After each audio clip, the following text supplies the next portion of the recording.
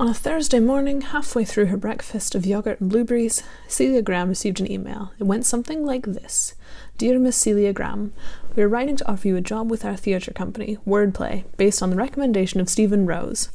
This job is that of assistant to the lead in our newest play, Something Forgotten. If you would like this job, please phone the number included below within 24 hours. I apologize for the haste, but we leave for Monte Carlo, our opening location, on Saturday morning. Yours sincerely, Rafe Visner, manager. Celia polished off her breakfast and picked up her phone, first dialing the corner store where she was currently working. Hello, yes? Tariq? Great. Hi, this is Celia. No, I can't come. That's what I'm. Yes, I'm sorry this, that Greg is on vacation, but there's nothing I can do. No, that's why I'm calling. I'm handing in my resignation, effective immediately. Why? Because I'm going to France. Saturday morning found Celia at the airport, a rucksack over her shoulder, smiling. She wore a grey beanie cap over her bob cut, straight, sleek brown hair, a tight pair of black jeans, and a black and white striped shirt that was two sizes too big. She looked every inch the up and coming youth with more hope than reason, but she was perhaps the exception. To have reason and hope and enjoy what she did. For the most part, it was enough.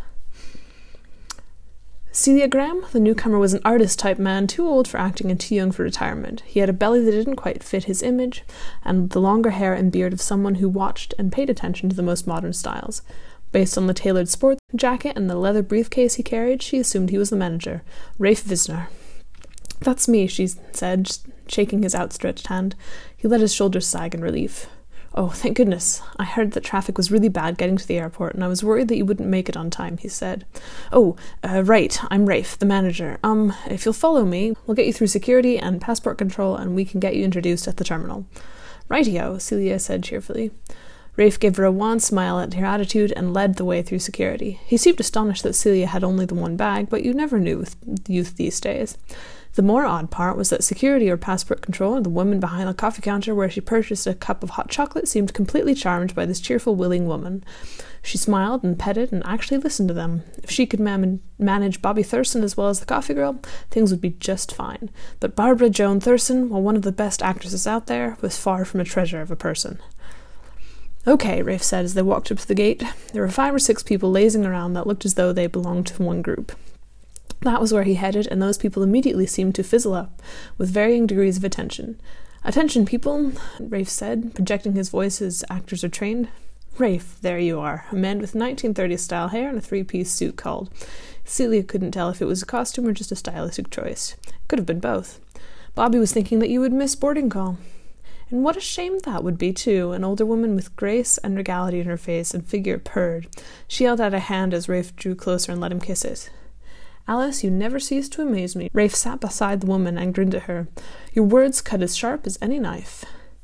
Are you even going to introduce us to your friend? The owner of this sharp voice was a woman of about thirty with the look of absolute beauty. Her skin held just enough of the golden tint to be luxurious. Her hair was sleek and curled in a shade of dark chocolate that many coveted. Her clothes were in the height of style and cut to show off the fact that she was supremely proportioned, and her eyes were a deep brown that could melt hearts if she chose. At the moment, she did not choose. She stared at Celia with only the vaguest bit of interest. She'll be most interesting to you, Bobby dearest, Rafe said, placing just the tiniest bite on the word dearest. She's your assistant, Bobby. Bobby Thurston meet Celia Graham. Hi, Celia said, waving her hand. Bobby straightened and looked over at Celia with a penetrating gaze. Celia hardly blinked, just trying to look friendly and unassuming. She had been in the business since dropping out of university to work in the world of theatre and knew that actresses, especially leads, like to have everyone else just a tiny bit inferior. So she would be inferior. Nice to meet you. Celia, Alice said with one perfectly sculpted eyebrow raised. That's a funny coincidence. The main character in the play is named Celia.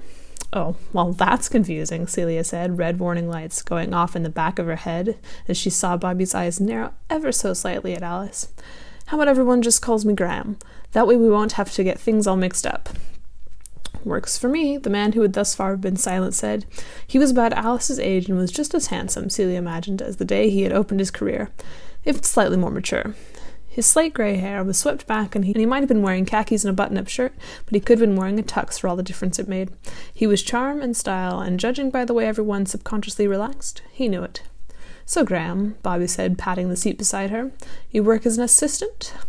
Thanks, Celia said, taking the seat and knowing perfectly well that Bobby was trying to make her out and put her into place. Sort of. I started off as an assistant to the stage manager in the production of Phantom toured all over the United States. Then, when I got back to the UK, I decided I would do something else. So I jumped ship to working in plays, props master in a little production in the backwoods of London, assistant to the props master in a slightly larger production, assistant to the lead in A Christmas Carol, that one that had been rewritten to include technology in modern times. Very interesting. Between jobs, I pick up work wherever I can get it. Last time was at the corner store down the, from my flat, but I've been waitress at restaurants, retail associate at various stores, even researcher at a library. If something is interesting, I'll try it for a while, but I always end up back in theater. You're a floater, Rafe said. Celia gave a half shrug and was glad that the conversation was cut short when the call to board came. They got on the plane and had barely settled into their seats when Bobby started outlining her schedule, which Celia put into her phone. As long as I'm not up before seven, your head can stay on its shoulders, Bobby said. It was likely meant to be a joke, but Celia only managed to chuckle. I'll expect you to manage everything that involves the theater, so that means rehearsal schedule, call times, etc. Personal things you leave alone unless they conflict with the job. You'll be dealing with all of my costumes and makeup and everything else, so it had better be in order. And if I need someone to run lines, I'm it, Celia said. I'll get a copy of the script from Rafe. Good, Bobby said. Anything else? Celia was still keying the details into her phone, but Bobby had already leaned back into her chair and closed her eyes. If there is, you take care of it, Bobby said. Celia nodded, then realized Bobby Thurston couldn't see her. You've got it, Celia said with a smile. As always, things would be interesting. Then the plane took off and they were on their way. Celia smiled, always glad to have another adventure. The hop from London to Monte Carlo was little more than an hour. The arrival was everything Celia hoped it would be. There were people swarming around taking pictures, honeymooners exchanging gooey eyes with each other, and businessmen. Sure, there was money, but there was also life. Celia didn't mind when Bobby left her to carry the three bags and drag them along behind her. She loaded them into the taxi with Rafe and let him tell the driver where the hotel was, or motel, or bed and breakfast. She didn't really care.